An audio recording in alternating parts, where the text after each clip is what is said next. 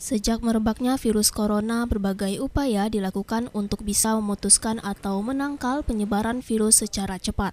Sebagai antisipasi dan pencegahan penyebaran virus corona atau COVID-19, serta bentuk dari implementasi physical distancing atau jaga jarak yang menjadi arahan dari pemerintah pusat, Kepolisian Resor Kota Payakumbuh meniadakan kegiatan besuk untuk tahanan di Mapores Payakumbuh.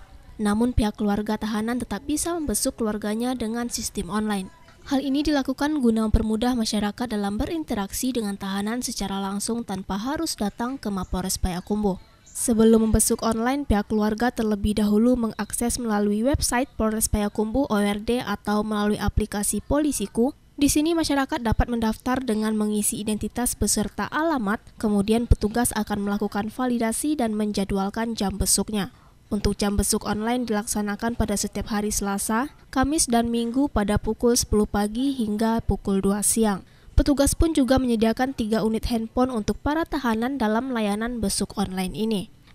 Antisipasi virus corona, kami dari Satahti melaksanakan kegiatan video video call antara tahanan dengan keluarga tahanan. Jadi inovasi ini dilaksanakan atas perintah pimpinan kami di Bapak Kapolres.